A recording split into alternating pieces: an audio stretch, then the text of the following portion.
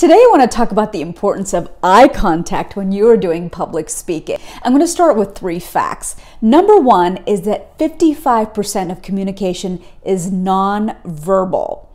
What does that mean? Well, you're probably emitting way more information about whether you want to be in the room, whether you like this topic, whether you like your audience, just by virtue of what you are showing in your body language and in your eye contact.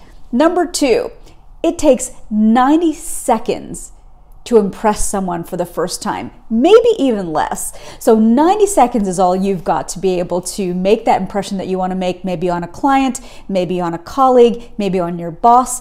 Eye contact is going to be one very important way for you to make a great impression. Number three, know that as humans, we pretty much have an understanding of the world with three sensory stimuli. We learn by sight, we learn by sound and we learn by doing or touch. And usually, one of those ways is our dominant way that we understand the world, and usually it's through our peepers, which are our eyes. All right, so what happens if you fail to establish eye contact when you're giving that all important client presentation or sales pitch? Well, number one, it makes you come across as not confident. You don't actually believe in the idea. You're going to have a tough time getting buy in from the audience. Number two, when you don't look your audience in the eye, it gives your audience permission to start thinking about something else. They're thinking about their laundry. They're thinking about when they're picking up their kid. They're thinking about the next phone call they have to take. So, eye contact is a way to keep folks engaged for a much longer period of time. All right, number three, when you fail to establish eye contact, what happens is that you fail to get buy in. And at the end of the day, why are you giving that sales pitch? Why are you presenting to that client? You want to get buy in. So, an important way to do that is with sustained eye contact. So, what can you do today to improve your eye contact?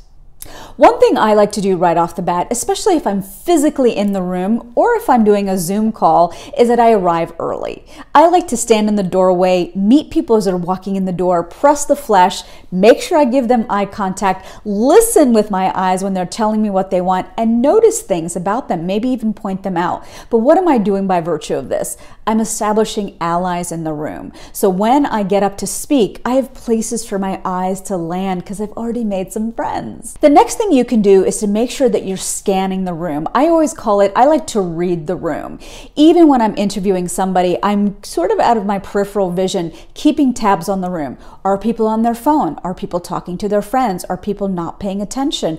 I want to know so that I can quickly toggle in order to be able to keep people engaged. So, and the way that you can do that with your eye contact is to settle your gaze for anywhere between three and five seconds as you're scanning the room. Anything over five seconds, by the way, folks, that gets a little creepy. You don't want to do that. The next thing is to smile with your eyes. Practice in the mirror doing this because, again, your nonverbal cues are going to do so much more than you ever imagine. So if you smile with your eyes, especially since most of us are wearing masks right now, is probably something that's going to engender trust and it's something that's going to engender warmth. Number three, and this is my big pet peeve, please don't read your notes. I always have my bullet points. In fact, I have them in front of me right now. I like to read from bullet points. If you're self conscious about having a piece of paper, put it on a beautiful piece of cardstock. Get it printed up so that you have something elegant while you're giving that presentation.